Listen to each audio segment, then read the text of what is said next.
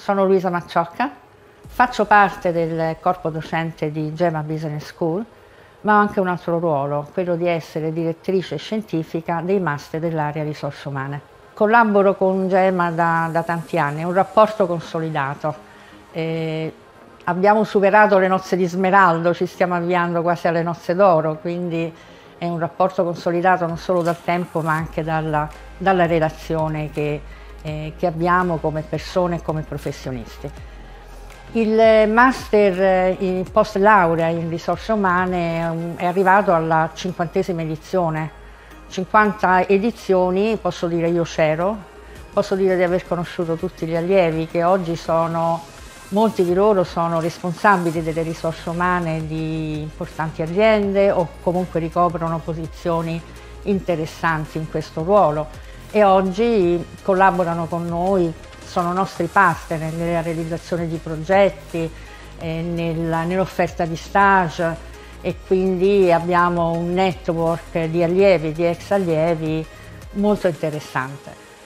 La nostra filosofia di fondo, la nostra filosofia didattica è qualcosa che somiglia all'imparare facendo, eh, che abbiamo trasferito in fare per imparare. Sostanzialmente è la stessa cosa, ma noi partiamo veramente dal fare, quindi fin dai primi giorni mettiamo gli allievi di fronte a casi reali, a esercizi, a volte anche difficili, ma eh, riusciamo in questa maniera noi a capire eh, il momento eh, culturale che loro stanno vivendo, le conoscenze che hanno e loro a capire che essere allievi di Gema significa qualcosa diverso dalle esperienze scolastiche che hanno fatto finora. I docenti, i miei colleghi, sono tutti professionisti come me che operano nel settore e che quindi trasferiscono le loro esperienze. Un master che arriva alla cinquantesima edizione significa che nel tempo ha cambiato spessissimo i contenuti.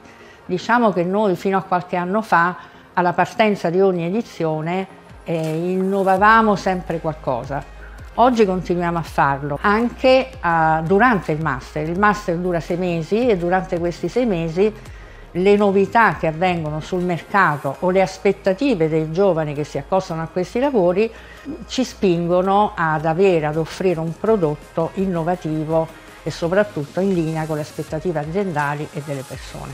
Per rafforzare il concetto del fare per imparare vorrei raccontare un aneddoto. Qualche anno fa eh, all'inizio, proprio nei primissimi giorni del master, noi siamo abituati a mettere i ragazzi, gli allievi di fronte a situazioni reali e quindi stavo assegnando l'ennesimo caso aziendale, caso reale aziendale. Uno di, di, degli allievi si alza e mi dice io mh, mm, non voglio fare questa esercitazione. Come mai? Perché non mi sento di avere tutte le conoscenze per poter fare questo esercizio e a me non piace sbagliare. E quindi ho risposto dicendo va bene, allora gli altri possono andare, tu se vuoi ti faccio un'introduzione teorica e poi raggiungi gli altri. Naturalmente lui non ha accettato, era un po' scuro nel volto, è andato a lavorare con gli altri. Poi sono tornati, hanno fatto la loro presentazione, non abbiamo più ripreso l'argomento.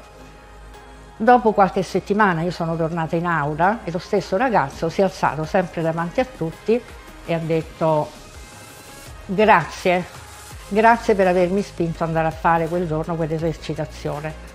Ho capito che è molto importante sbagliare e imparare dall'errore.